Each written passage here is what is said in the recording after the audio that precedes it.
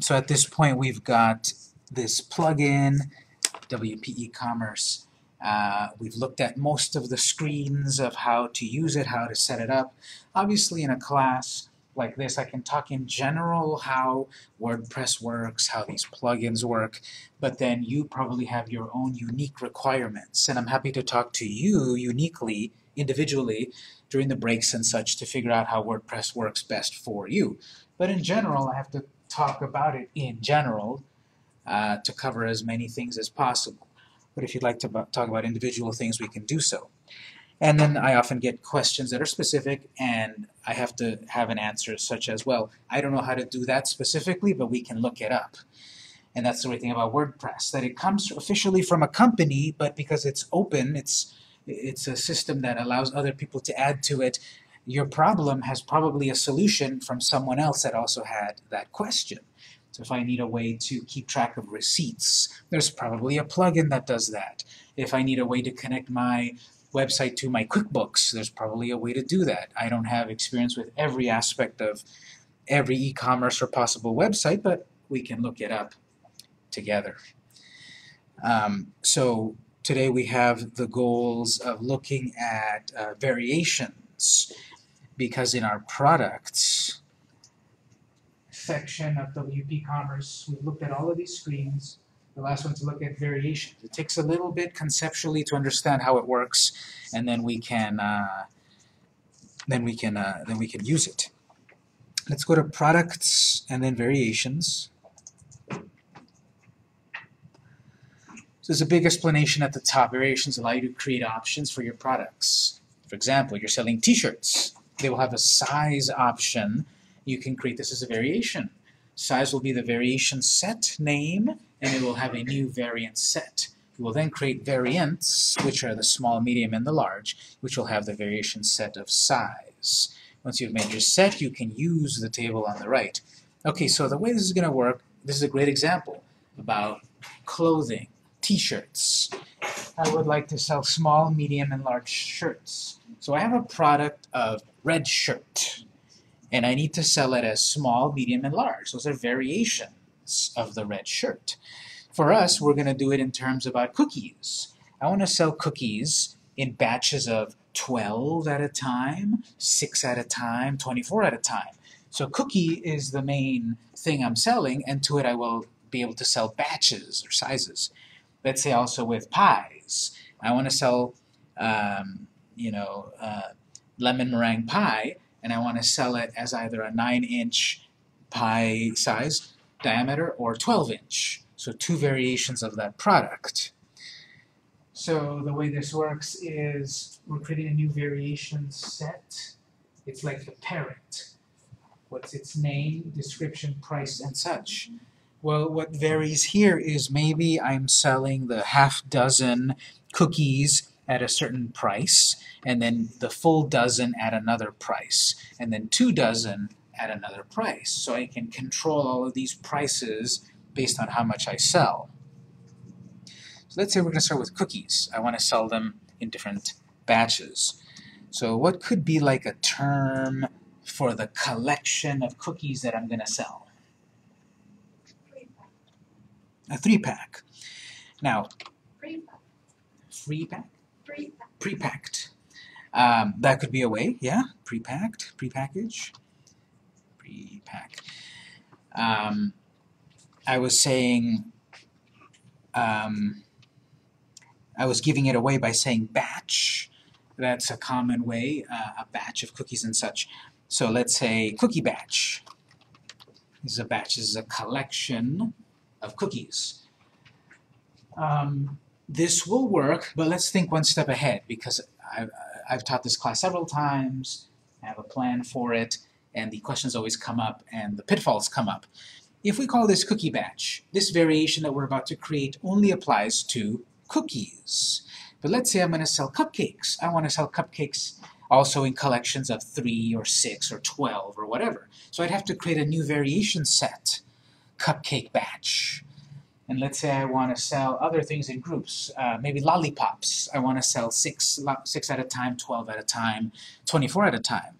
What I'm getting at is that we, we don't need to be so specific right here to say cookie batch. If we say batch or group or collection or pack or p-pack or, or whatever word we want to use, the more generic it is, the better, because then we can reuse it. We can just set the price properly per product.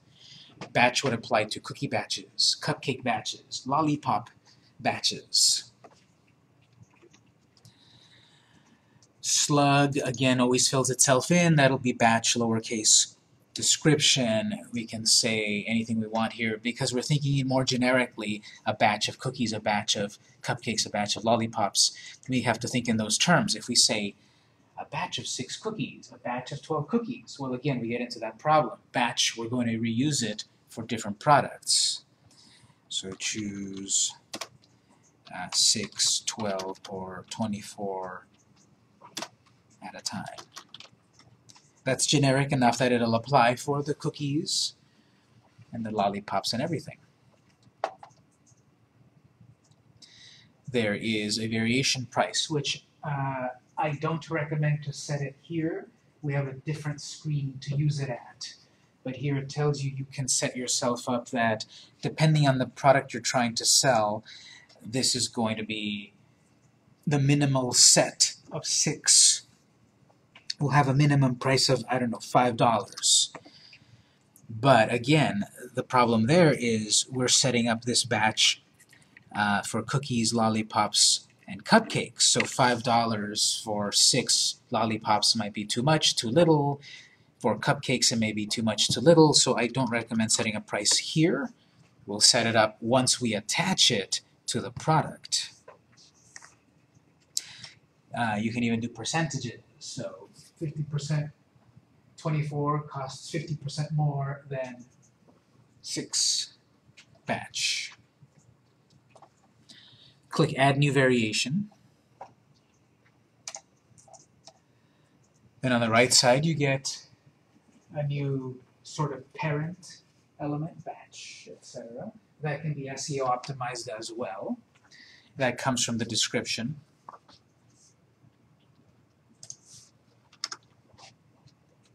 So how to set up variations. What's the parent group? What are the child groups? For example, batch, 6, group of 6, or 12, or 24. That's the child.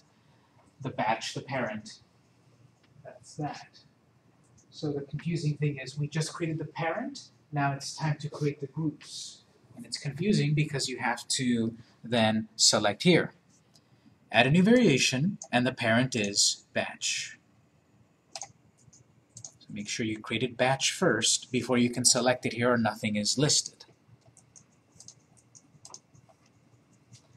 So I'm about to create the 6, the 12, the 24 units of the batch name, this is what will appear for people when they choose their product.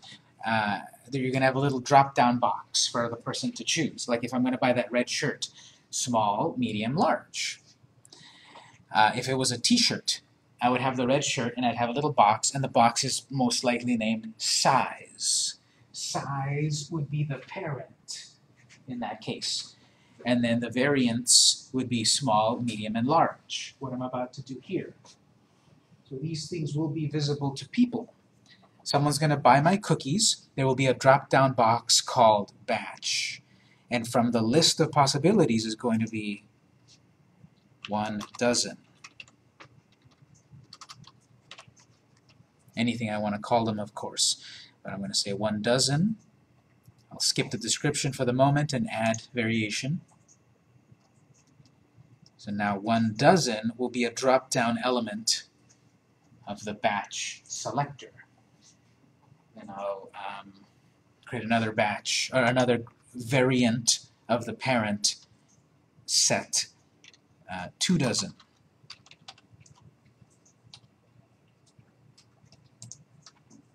So I'm covering the one, I'm covering the 12 and the 24 sized pack. Uh, what could be the six pack? Half dozen.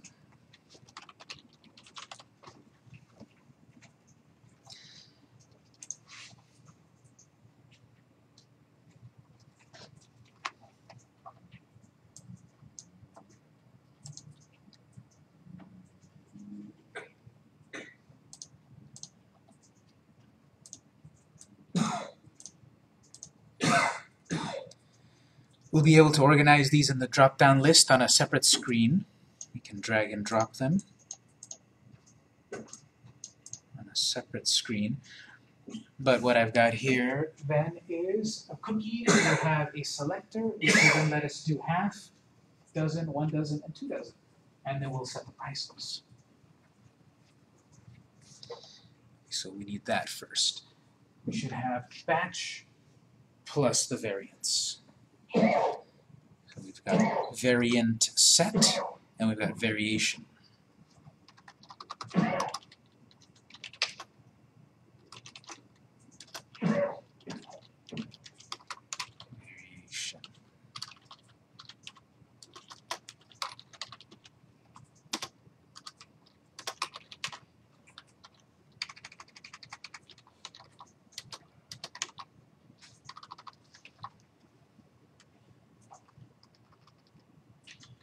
create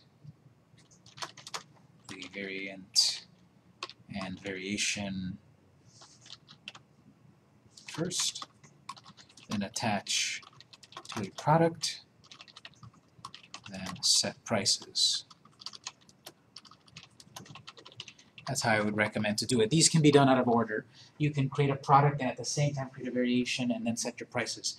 But um, I kind of like to do it this way maybe step before that, create a product, then the variations, attach the variation, and then set prices. So let's go over to our products. Let's create a new product. I want to create a new kind of product. We have so far birthday cake, chocolate chip cookie, oatmeal raisin. Let's create a brand new product here add new lollipop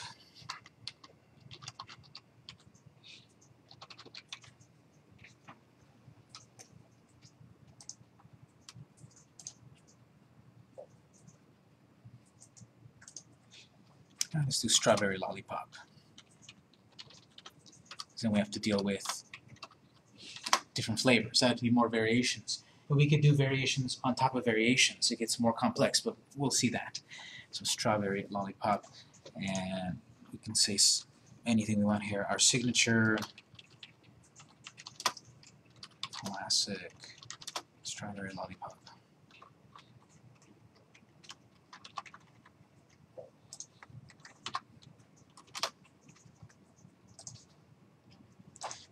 Lollipop has two L's.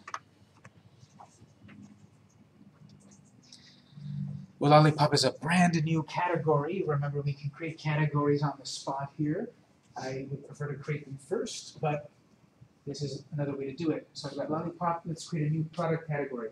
Plus new category. So click on that. Plus new. Plus add new category. We're creating a new category of lollipops. So they should rename these uh, create new product category or name new product category and then add it. Because you have to click here first to make the name and then click here to actually create it and add it to the product. And you can have your items in more than one category. Um, you know, I can add, select multiple categories if they make sense. And the point of that is that when I set up my menus and I make a menu of sugar-free, everything that is a sugar-free product shows up on that screen. We have primary and we have secondary categories. Um, I don't quite know uh, if there's any real value to primary and secondary designation. I, I've used this plugin for years, and this is a relatively new addition to to the plugin. So I don't know if it really helps SEO or anything like that, but um, I would think to make the primary the one that it primarily is. This is a lollipop. You can switch between them and I don't think there's too much of a difference. But in my case, I'll just leave it as simply one product category of lollipops.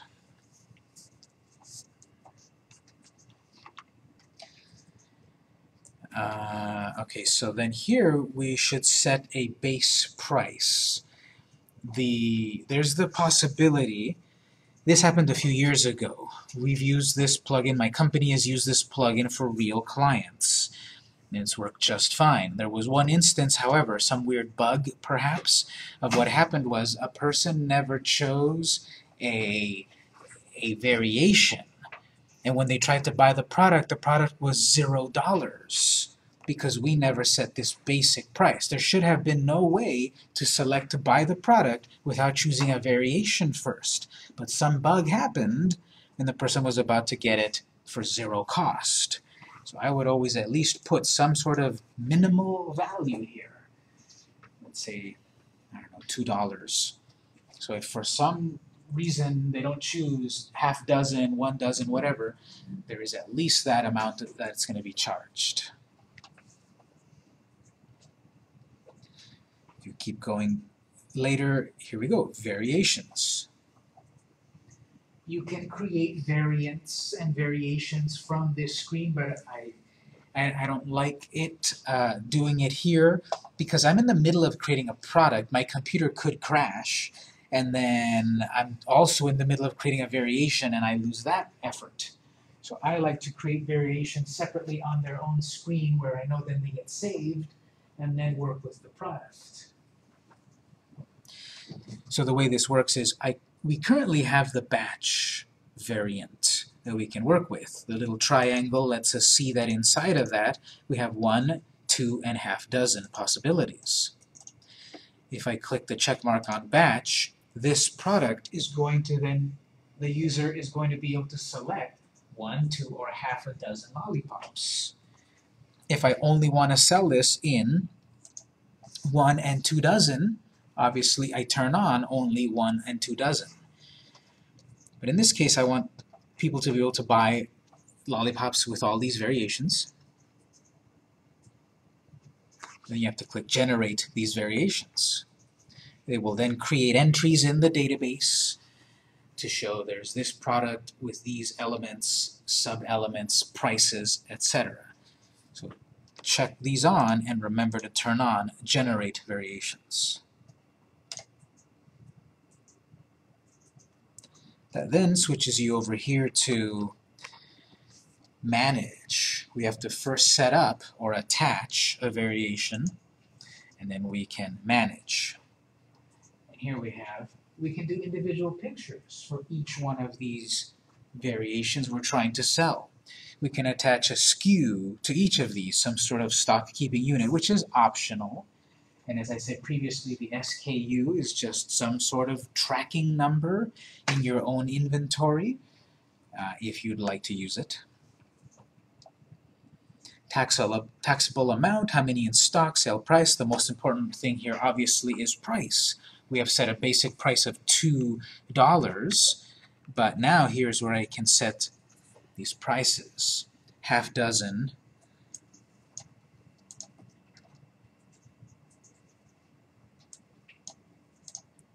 half dozen uh, will be my starting point, let's say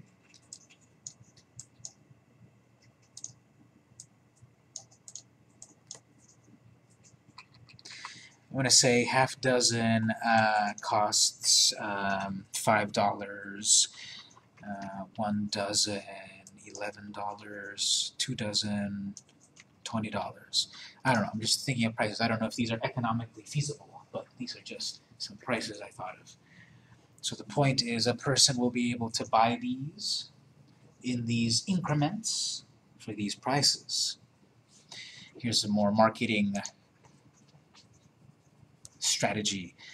Uh, I could have here 22 regular or you know 23 regular price and original no uh, I know we could do 25 regular price and 24 sale price so see it's on sale I'm gonna buy I'm gonna save more when I buy more So they will see that the price of 25 is crossed out and the sale price of 24.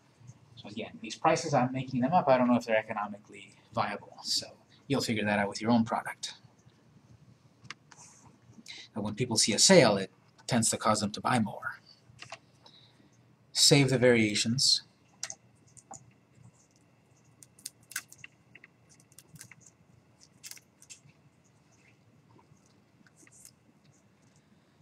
To see this result, then we have to publish on the top right corner. You go ahead and publish.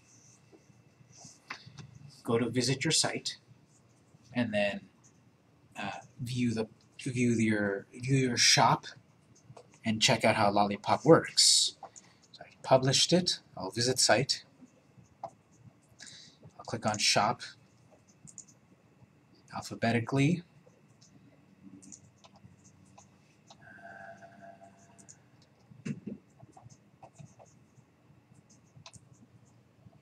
Strawberry Lollipop right there. It doesn't appear in a category because we didn't create a category in our menu.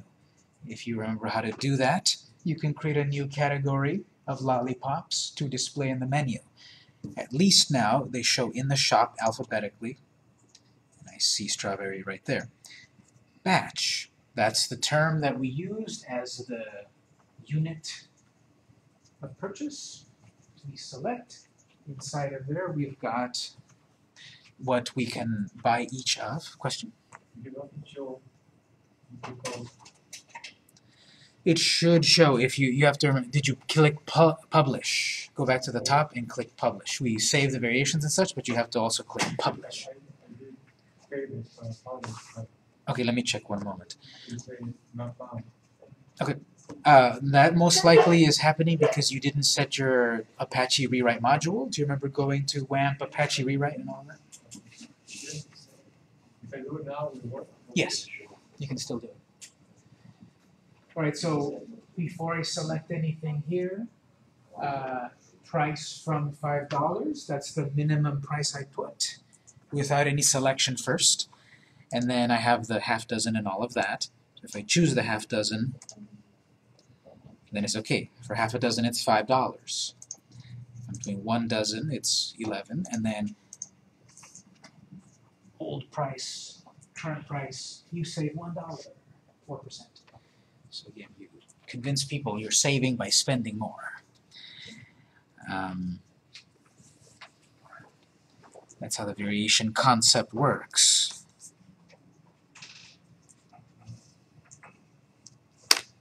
This is strawberry lollipop. Let's say we do uh, lollipop grab bag. That in there, it's going to have four flavors randomly. So we want to choose uh, how many of those you want to buy. Again, this is going to be like for a birthday party. I, I want to buy, you know, a dozen grab bags. And then I, I could choose, uh, I don't know, uh, batches of little bags with like you know, Batman on them or Wonder Woman on them or SpongeBob on them. So that could be a variation. What kind of character is going to be on the bag and how many of those bags do you want to buy? So that'll be two variations, character and batch. So let's see how that works. Let's go create the variation set first and we'll attach it to a product. We'll go back to dashboard.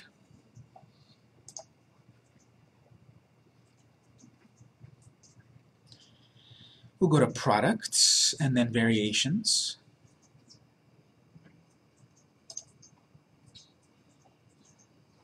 I'm going to reuse batch. We created it generically enough that it'll still work.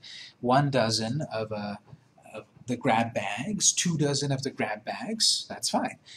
I didn't call them, uh, you know, cookie batch. Uh, it wouldn't make sense for lollipops, so batch is good. Uh, here we're going to create a new variation set, a new parent, and we'll call it character. Your favorite character.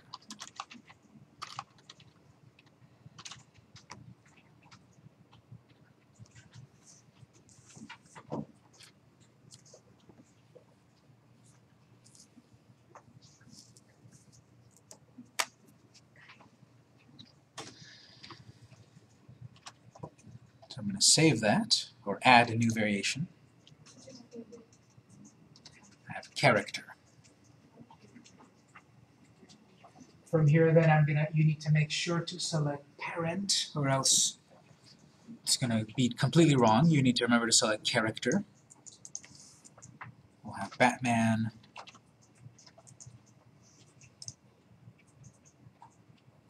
Now Batman is one of the selectable characters. Wonder Woman.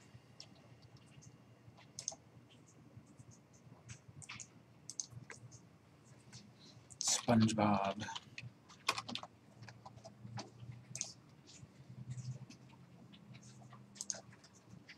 And whatever we want, Babs Bunny. Do it old school. Okay, so I've got a few characters. A few characters that are part of the character uh, variation. We're going to attach character and we're going to attach batch to a new product. Lollipop grab bag.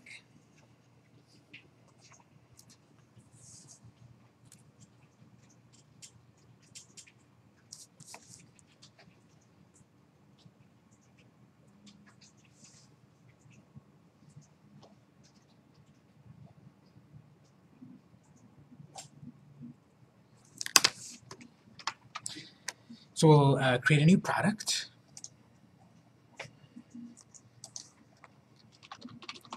Lollipop grab bag.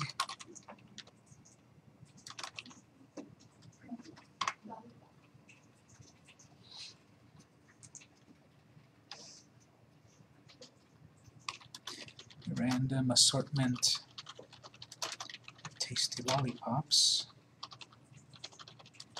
with your favorite character.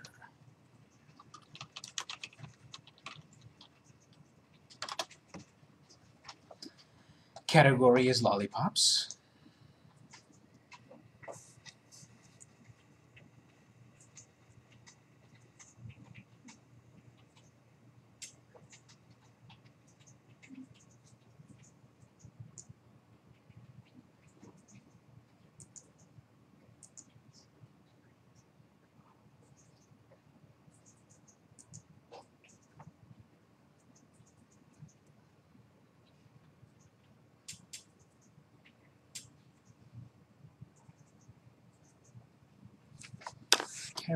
Is character is going to be a variation. So now when we scroll down to variations here, can choose these.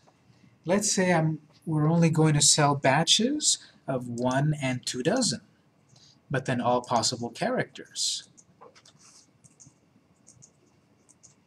So all of these plus these two generate.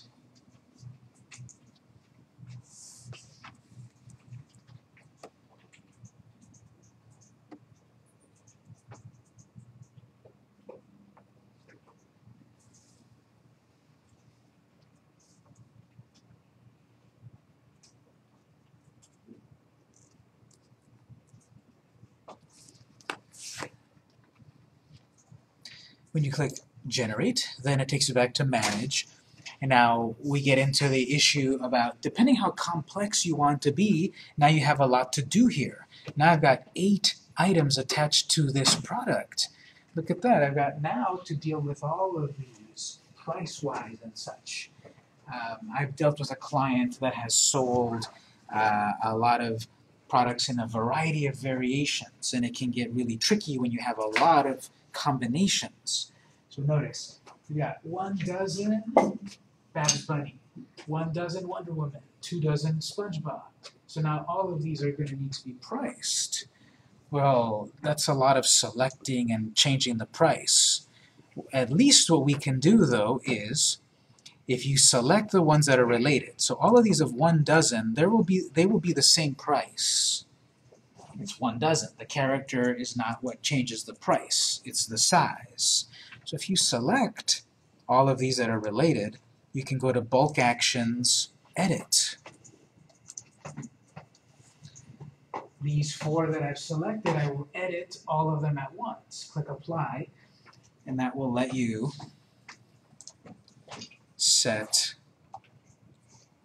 these values quickly. All of them will have a price of uh, 1150 regular price twelve dollars, twelve ninety nine.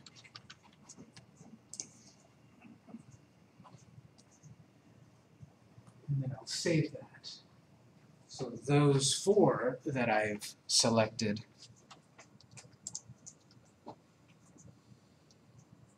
then get updated. So it could be a lot of effort to create the variations and to update them and so forth. Batch, remember to batch edit them, that's very helpful. Bulk edit them, that is. With the two dozen, just make up a price, but the point is select those and then edit in bulk.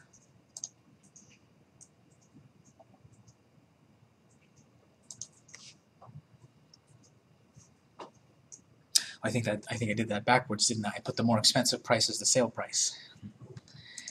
Regular price, uh, twenty-five dollars, twenty-five ninety-nine, and sale price, uh, twenty-three dollars. So I can go back and set that properly, because the sale price that's more expensive is not a good deal.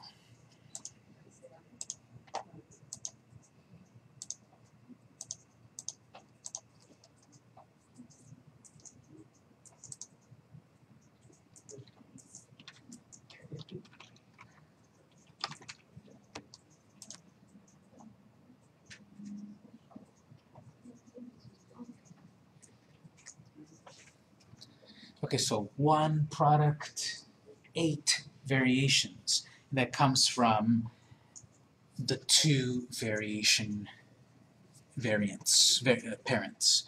So I'm going to publish that. I'll take a little detour to create the the menu item. It, it's not a menu item in the category. So um, that's over under Appearance, Menus. I have a brand new I have a brand new product category, lollipops. So I'll add that to the menu and then I'll move it so that it's part of categories in shop save the menu, and now when I visit site, I'll have a new item in the menu.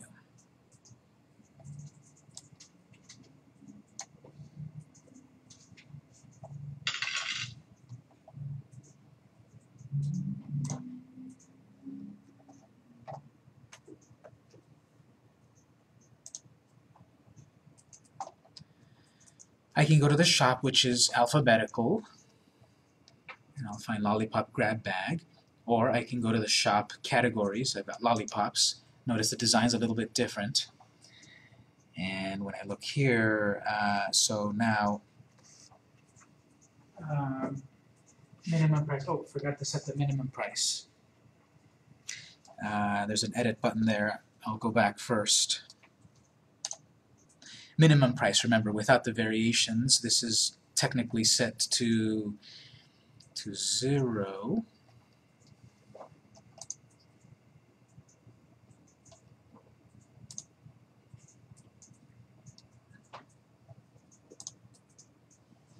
So I'll go back to edit the lollipop grab bag.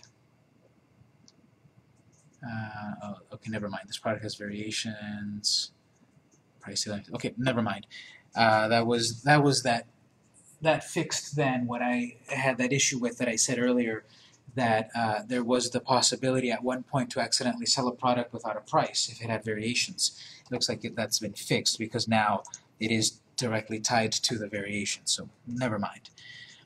But if we go back to the shop and then the categories, lollipops, So we've got two lollipops, the grab bag and the strawberry, and then under lollipop grab bag, okay, I'm going to select a batch of two dozen for everyone in the group, and then uh, you need to then select the other option.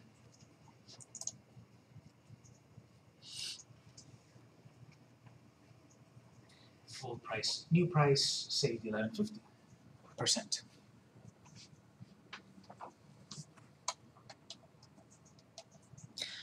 You can still then set it up to have the drop-down menu here, so technically a person can choose, if they wanted a lot of them, two dozen, and give me, you know, give me five of those, two times 12. What is that, like 75 or something? So you get a lot of, um, you can get a lot more, even though you've only got it in groups of dozens.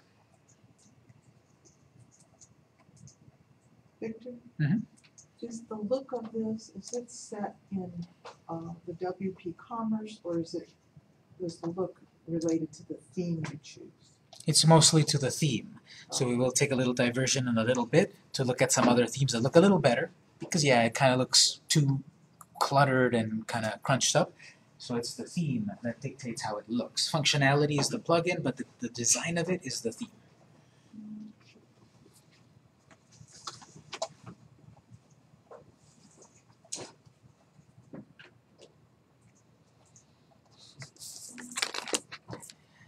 So that's the idea of variations.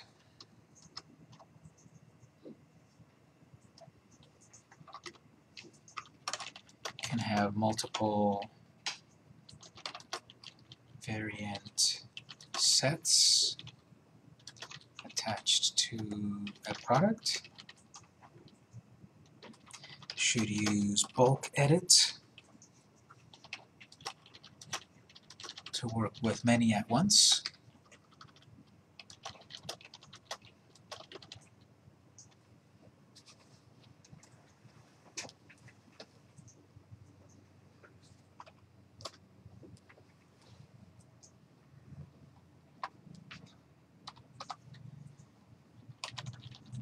Create variant sets as generically as possible.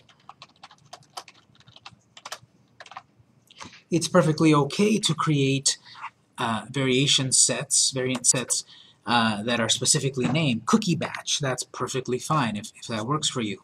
I just, in my experience with working with some of these clients that needed to do this, it was a lot better to work with a generic term than a specific term.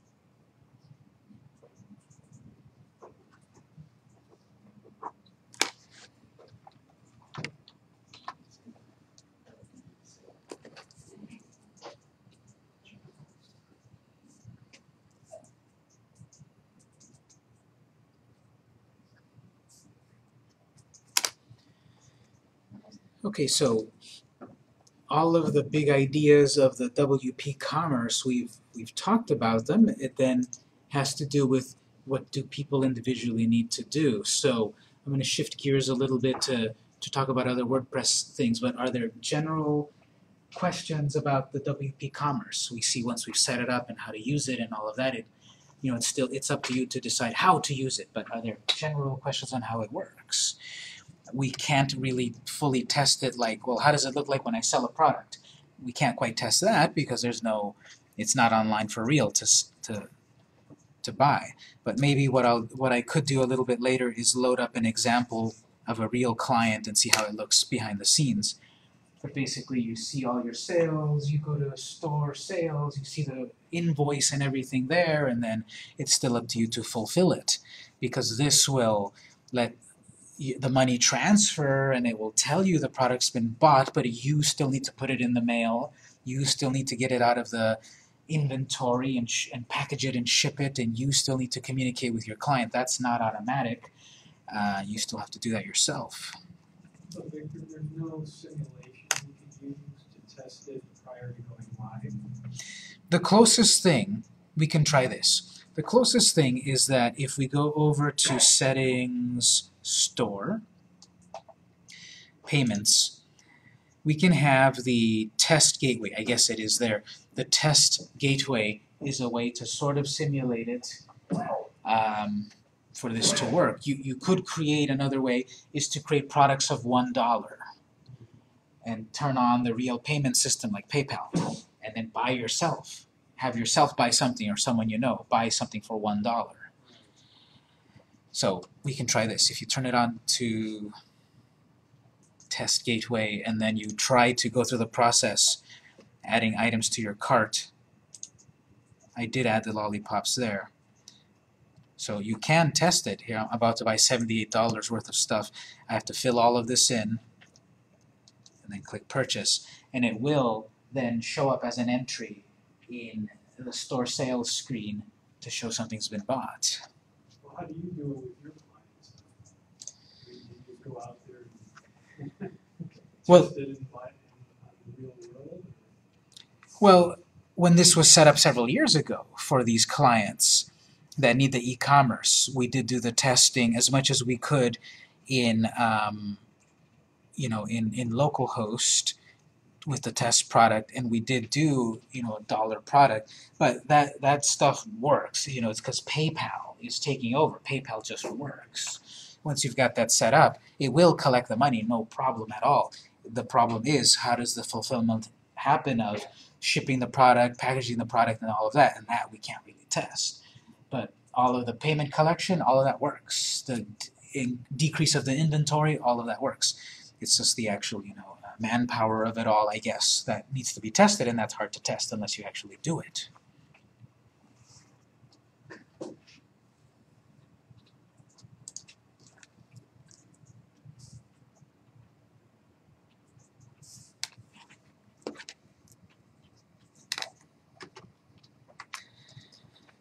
So the um, related to the shopping cart, what I wanted to do is um, this theme maybe isn't the best design for a shopping cart.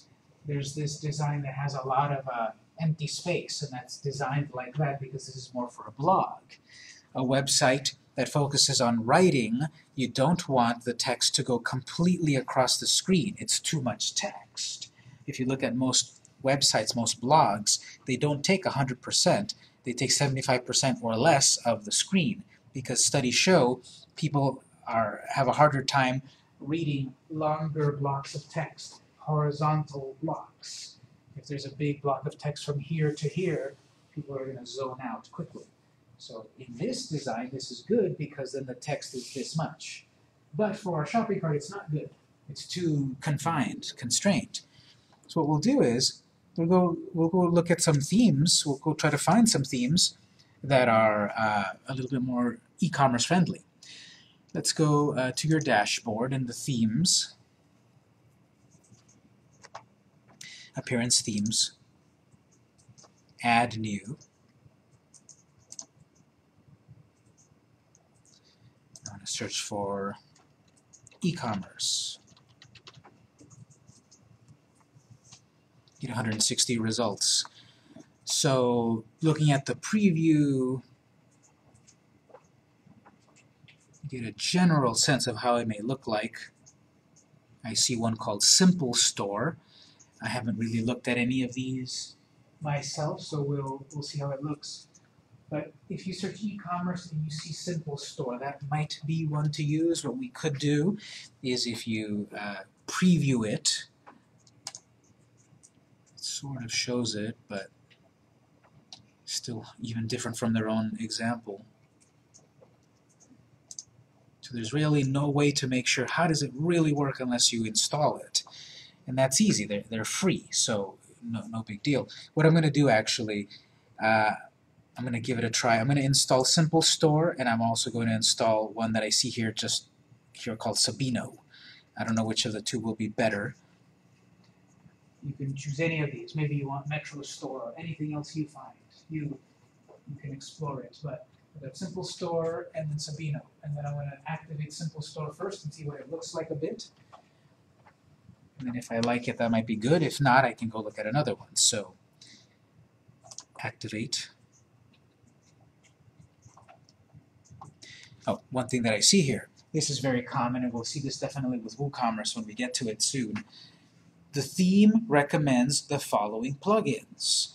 So a lot of the times the way a theme can look really nice is also a, with extra plugins that give it more functionality. So a special grid design or a special commerce and all of that feature often means like that. I won't install it yet, but notice it's asking me to install CMB2, I don't know what that is. Kirki Toolkit, I don't know what that is. It's saying, oh, why don't you get WooCommerce? So WooCommerce seems to work best with this theme. So we'll skip that for the moment. And then these other extra WooCommerce elements. So I'm going to ignore the recommendations for the moment, and I'm going to see what the site looks like. And anyway, this one's still uh, guiding you over to WooCommerce, so we'll see that later. But I'm going to go visit site. I need to add the menu. My sidebars, I put we put those calendars in the footer, and then in this design, it's on the sidebar.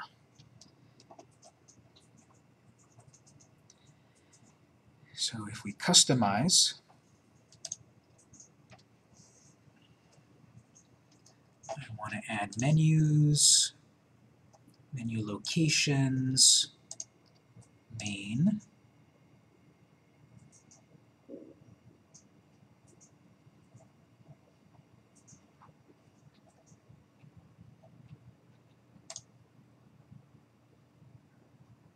So whenever you get any of these themes, most likely then you want to customize and go through each of these screens and set some settings that look good to you.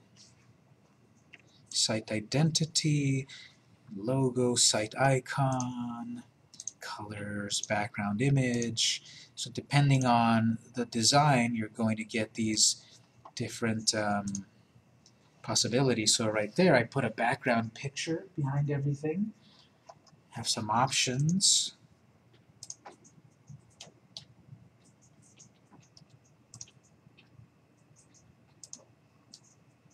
And use widgets. We've got a right sidebar and a footer.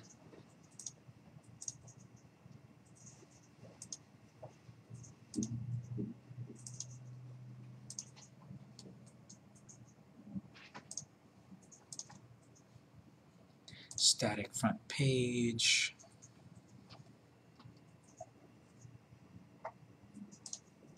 See need more features. That most likely is the code word for upgrade, right? Buy the pro version. $49 one-time fee.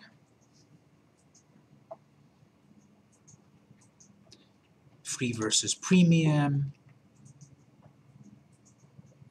So they all have responsive layout. You only have one header style on the free one, you have three on the paid one. You don't get a you do not get a homepage carousel, which is a slideshow. These are very popular. You see these images on the home screen, they change every once in a while, carousel. You don't get that with the free version of the plugin. The paid one does have it. You know, all of these things you don't have, such as unlimited colors. Right now, maybe I have six colors to choose from, so I would need to upgrade to get those features. Update and support. The free version, you get this theme, you're on your own. Read the manual. Uh, and then the paid version, you get support. So uh, you can uh, get support straight from the creators that tell you exactly how it works and all of that. Usually, at the very least, on the site, there's usually at least, here's the manual, support, go read the documentation. So this one's called Max Store Pro. Looking at the documentation for Max Store Pro right here, Max Store is the free version. So here's the full in, here's the full how to set up the theme, how to update it, menus and top bar and everything. So this is this is very common. We have a world of themes to work with and plugins. There's often a manual. When you go back to the website of the creators, there's a manual. They're going to guide you toward the paid version, but you can get pretty far with the with the free version. So people often come to me and they say, "Well, here's my site, and I've tried to work with it. I don't understand how it works. Can you help me?" And the short answer is no, because I've never seen that that theme before. The short answer, uh, the long answer is RTFM. You know what RTFM stands for? Read the funky manual. funky manual. So you go to it and read the manual. And it'll tell you how it works. I don't know how it works. I've never seen it in my life. I could help you, but I would read the manual too. Yes. How do you get to that site so you can look at that? In this case, the way I got to it, and it's different for all of them. In this case, when I went to, when I clicked uh, customize this theme, on the left side it says need more features, and I went to view pro version. That took me to their official website, and then on their official website I went to the documentation. This theme is called Max Store Pro. I went to the support documentation and I got the manual for Max Store. So there's a lot of it is different for every developer, but usually you go to the original website, you look at their support, and there's a manual somewhere. Oh, I see. I click uh, view uh, pro version Mhm. and you got it right there. So search bar and, I, and social icons. I want to use icons on this site. How does that work? It tells you exactly there. To enable search bar navigation, go here, go there, turn this on, turn that on, and then you'll have that. They often also say, well, the best way this works is with this extra plugin. So out of the box, this design is okay. It's still going to recommend to me to um, activate those extra features. But let's see, I'm going to go to the shop. How does the shop look? Looks better, I think. Definitely, it's not so boxed in. If I look at oatmeal raisin cookie, nice big photo, lots of space to breathe, add to cart, go to checkout. It's nice compared to the 2017 theme, this is nice and readable and big, good spacing and everything.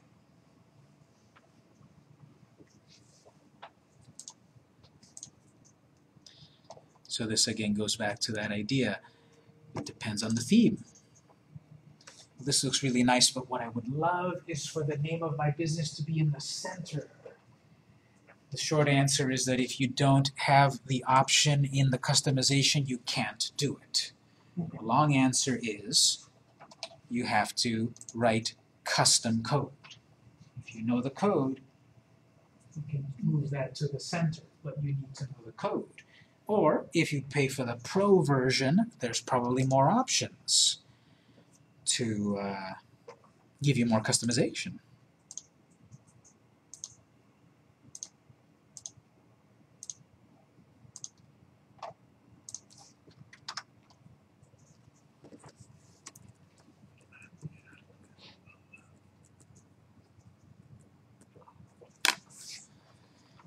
So let me mention here three levels of WordPress. So one, uh, pre-made theme plus customize. That's what I've, we've got right now. We are checking out the theme Max Store Pro, Max Store, and then I've gone to customize. And based on what they've allowed us to customize, I've customized my store to some point. This is the basic level. And this would be, if someone was hiring us, this would be the basic price. Level 2, pre-made theme plus customize plus custom code. That then starts to raise up in price. So starting with Max Pro and doing enough of the customization that they allow, plus then going to the various code editors in WordPress, we then write the custom code to put the logo in a certain place, to change the widths of the columns, to change the fonts, to change all of the things that were not given to us under customize. And we are allowed to do this because the the license of WordPress and, and the WordPress themes is this must be allowed. Anyone that creates a WordPress theme must then put it out there for anyone else to be able to change it. It's built into the contract, the license of WordPress. Yes. So, let's say you have five different businesses and you purchase one theme. Mhm. Can you reuse that theme for each of your businesses? You have to check the license of the theme. It really varies. Some, if you pay, you know, fifty dollar one time fee, applies to only one theme. But for others, you pay, I don't know, like a sixty dollar price, and it can work up to three sites. Okay. So check the the fine print of each of the themes. You've got level three. All custom code. And that one's a little more expensive. Because with that one, it's us creating a design completely different from anyone else, any other competitor. And that requires a lot of coding, a lot of setup and a lot of coding, because a WordPress site is made out of like four languages HTML, CSS, JavaScript, and PHP. And those are huge programming languages that you can spend you know, semesters and semesters in school learning one of them. You have to basically know them all four to create a good WordPress theme. So if a company were coming to us, we have a meeting with a potential client, they tell us what kind of store they want or site they want, and we tell them right away, here are your options. We can work with this level, you'll get a nice design.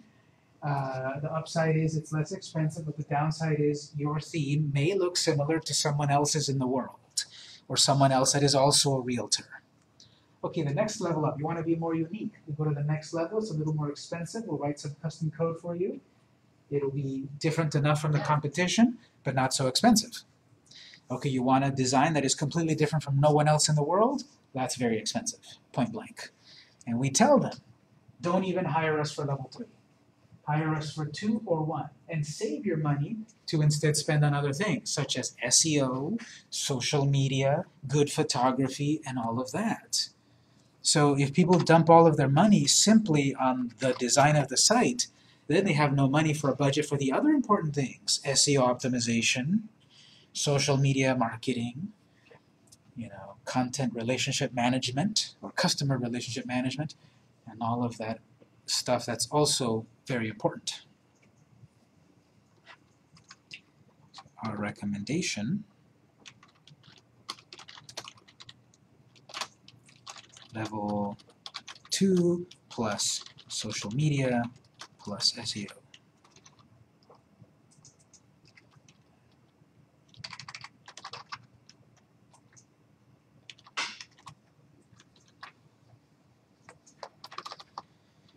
Because you've got an amazing site that no one else has and it's super uh, customized and pretty and all of that, but you still get no traffic because you didn't SEO, you didn't optimize your site, you're not promoting it on social media, you don't have a good marketing strategy.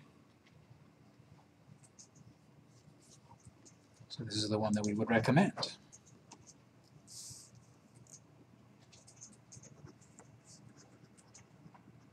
Let's okay, one more thing, then we'll take a break. Does this make sense? Any questions on that? On that idea? Yes. What is the company you work for, if you don't mind me asking? Sure. Uh, it's pmdinteractive.com. So this is very common for most um, companies. Uh, and for most people, you'll still go pretty far with a level one kind of site, but you just have to know that your site might not be super customized and it'll look like other people's. What would be like a rough average price for level two? Price wise, overall, yes, price wise, what we can say, uh, like from first hand experience, you know, this has been like uh, six to nine thousand for the full expensive one, and then the basic one is like four to five thousand. And then the basic, most basic one, you know, one thousand to three thousand or so. Now, obviously, we've seen in plenty of places that I've seen a site sold for two hundred and fifty dollars. Well, yes, but it's even less customized. It's even less featured, full featured. It's even less unique and such.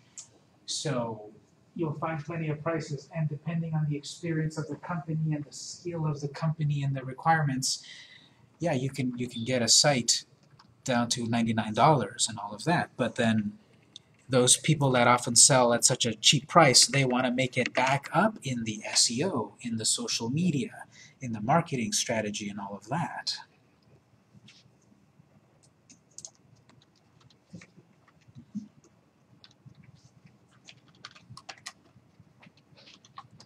So general prices there, and it always depends on the client and the results needed and lots of things because um, there's wiggle room, but that's a big, that's a general pricing scheme that's pretty common. Hourly, these things are often, you know, for those with experience and skills, it's often fifty to hundred dollars an hour. I could easily hire someone at fifteen dollars an hour to do it, but you might not get the best results.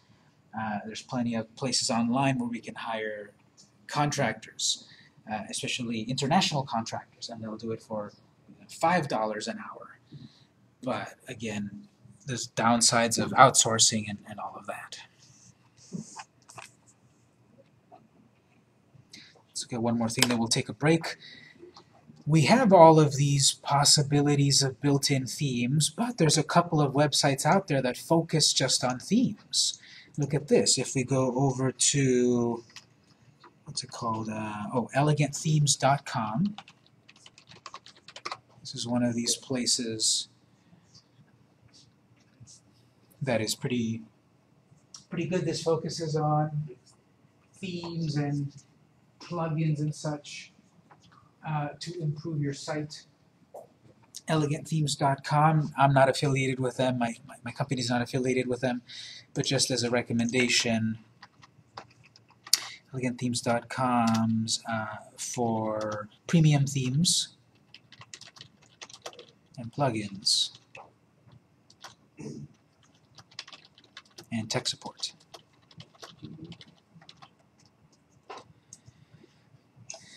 So looking at this site, um, let's see, what are the prices at the moment?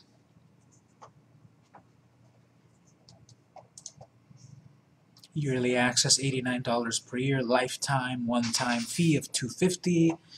What you get here is access to all of the themes and plugins, updates, um, unlimited website usage. So here's that about I'm paying that amount and I can use this theme for seven sites. You get these updates and tech support and everything at this higher price. Cancel your membership at any time. So two forty nine is for lifetime, Yes, any site, exactly. unlimited. Yeah, it's a very good deal. That's you depending on your business, you can recuperate that rather fast.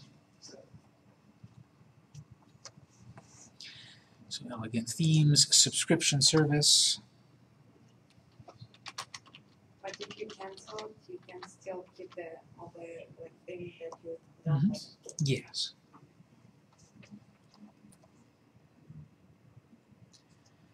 So that's one uh, I've used. Uh, they have some nice themes and features, plugins.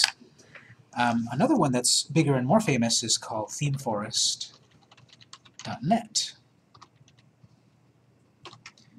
ThemeForest.net is part of the larger Envato marketplace. But this is ThemeForest. This focuses on themes, uh, starting from two dollars. So here you don't buy a membership here. You buy the individual themes and plugins for as little as two dollars. You can go to different sections like the video hive, the audio jungle.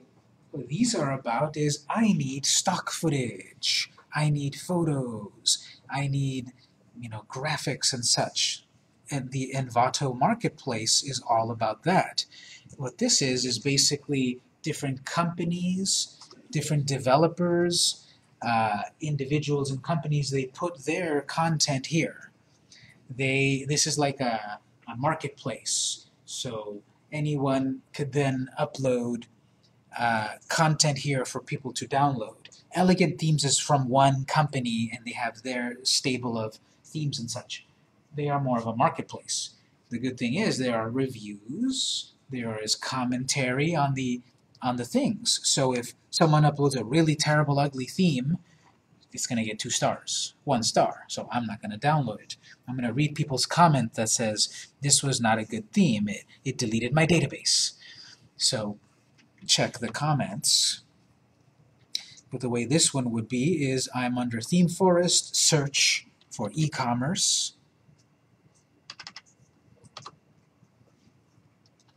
And I get 1500 e-commerce themes. Now, what's that? Starting at 59? So, uh, we have themes and content from every platform. Be careful here. It, it's very common to accidentally buy a theme for Joomla or buy a theme for Squarespace, and I've got WordPress. I bought a theme, whoops, I bought a theme for Dreamweaver. I'm not using Dreamweaver, we're using WordPress. The, the ones that are $2, if you're saying, what are those $2 themes? Those are usually for Dreamweaver. Uh, usually, you know, 20 to $50 end up is for WordPress. So be careful where what kind of theme it is. It'll tell you right there. Um, no, that's not me. That's not my themes. But you'll see they'll be listed. They'll be listed for what platform it is. Oh, right here. WordPress. In WordPress. Like this one. Oh, this one's only fourteen dollars. But this is a this is a Photoshop template. So let's say, what is this Bl- Blazok e-commerce theme? You can click on these, you get a preview, live preview. So this is how this theme would look. Obviously, they're going to show it the most impressive. The one you have to pay. Yes. All of these start off really for pay uh, at, at Theme Forest.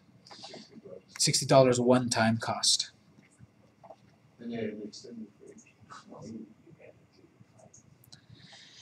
So, okay, I, I don't want to pay $60. Well, look at various uh, items here. This has been sold 6,000 times. Let's do a little math here. 60 times 6,000, 663. So in theory, that person's made $381,000 on that theme. 3,000 comments. Now, and uh, Theme Forest takes their commission out of their sales. You don't have to worry about that. So that may, they might not get $60 out of it. They may get, you know, 45. I don't know. But still, they, they get their cut. And you can see here, uh, well, this is a Power Elite author. Um, this author has has sold over one million uh, dollars worth of merchandise on on on this site. They have these other accomplishments, and then again comments. What are people saying about this theme? Uh, I would like to have some transparent space between my header and the top. Is there any CSS code? So they the author replies here. Please contact our team here. Someone else says, I cannot use the full header width in your layout with WooCommerce. Please help. Someone says, do this, do that. You have to buy the theme first. Then you do this, then you do that. So this is from 10 days ago, one day ago. So the way you would use these, you buy the theme, you click download, it gives you a file. Then in the WordPress site, that's where you upload it. Appearance, add new, upload. So when you get a theme from the built-in marketplace in WordPress, you just click install activate, done. When you buy it from Elegant Themes or Theme Forest or these other sites, you have to upload the file that they give you, activate it, and then it works on your site. Money directly from their side to upload or loaded to desktop and then up to. uh, You have to- You have to download it from their site first to your computer, yes, and then you click upload here to the WordPress. Yeah, have any pictures, What's that? pictures? Download a picture and then. Pretty much, but it's gonna be a bigger file that is a complete theme, but pretty much like a picture. And upload a zip, right? Yes. This will give you, uh, it'll download it and uh, you, you have to upload it as a zip. One thing that I noticed on the Mac that is helpful is that they unzip everything when you download it. You don't want that. You want your file still zipped when you upload it to your site. Yes. Yeah, sometimes I think uh, one of the hosting, they have a limited amount Oh, you yeah. have a download. It's, I tried, like I struggled for two days and actually did do uh, FTP. Yeah, let me make a note of that. That's a good point. Sometimes uh, your providers have an upload limit. Uh, sometimes these themes are, you know, 10, 20 megabytes large or more, and then your provider might have a an upload limit size. So something to make a note of here. Let's say um, to use a premium theme. Find it on the theme site, purchase, download. Don't unzip it. Your Mac will probably unzip it for you. You have to rezip it. I don't remember how to zip files on a Mac. You probably right click it and select compress or something. So don't unzip it. Uh, You heard, um, anything about Monster, Template Monster, I've heard good things about it. I might have heard the name, but I haven't used it. Monster, I don't recall using it, but I think I've heard the name. 26,000 premium themes. Again, whatever is here, I would I would look at the reviews. All of these are perfect five stars, but I would look at reviews and what people are actually writing. So probably this one's good if you've heard good things about it. I, I think I've heard of it. And I would always check the reviews. Download, uh, dashboard, themes, add new, upload. Zip. Note, your provider may limit zip uploads. If so, you need to use File Manager, FTP, to upload it If that sounds technical, it's technical. You'll have to check with uh, calling up the provider and say, well, I need to upload the zip file to my server. How do you do that? And then they'll help you with it. But usually you can simply go to the dashboard and click upload. If it's not uploading, it might be your file size limit. That's that's a that's a function of the of your provider. How much did you pay for it, and the level of service and other features. So you have to talk with them. Yes. So this also you can customize it too, Mm-hmm. coding, it doesn't limit like this is all you can do with it. Exactly. Usually these premium ones are very customizable built in because you're paying a premium, but every WordPress theme inherits the license of these are fully customizable however you want. So this is uh, this is very common also. This is what what we might do with a client. We talk to them and they and we tell them, okay, level one, level two, you've chosen level two. The way we do this is we're going to browse together for various themes. We're going to guide you and say why this one might be good or not. We're going to then uh, download it and we'll customize it as you want.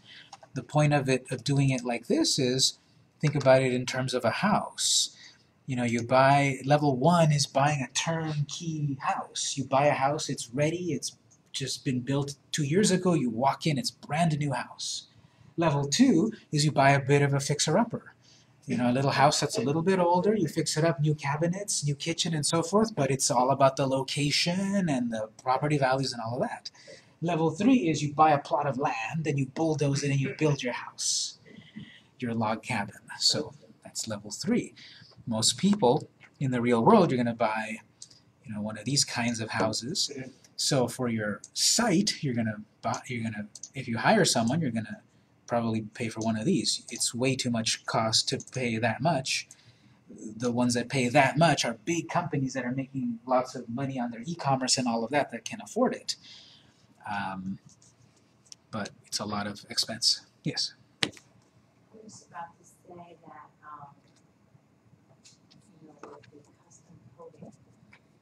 that's important one, just that's my son, go back. No problem. I have to go and get the other. You saw all those dollar bills and it threw you off. Well, um, that's what I wanted to show for the moment. Let's take our first break. Think about this, that you can always get more templates at Template Monster, uh, Theme Forest, Elegant Themes, to get a better design for your e-commerce. We'll be back in 10 minutes at 7.30. We'll be back at 7.40. Just one moment.